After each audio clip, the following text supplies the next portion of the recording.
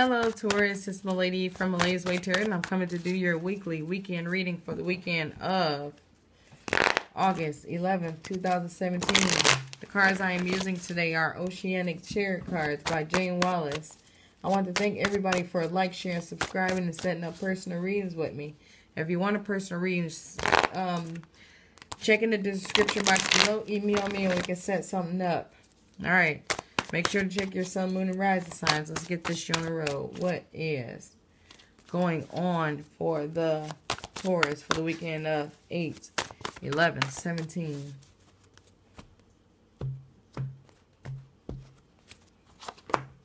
All right. Ooh. So something you want is not possible. Or somebody wants something from you that's not possible. Okay, so I'm feeling like maybe somebody wants to be with you, but it's not possible because you're with somebody else, Taurus. Okay, so I'm feeling like being with this person, it might make you happy, but you're already connected to someone else. Okay? Yeah, so I'm feeling like this might be an ex and you do not want them anymore. You don't want them anymore.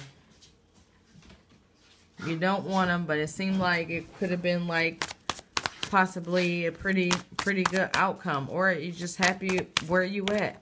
Okay. Alright, so I'm feeling like this love offer that came in, it was like this person was insecure and that's why you dealt, left it in the first place. I don't feel like I don't know. Yeah. Yeah, I feel like they're a bit insecure. Yeah, so it seemed like, I'm not sure. I feel like this is their energy. Or maybe it was both of y'all energy. It was just like a bunch of anxiety. It was like nobody was ever content or happy, you know?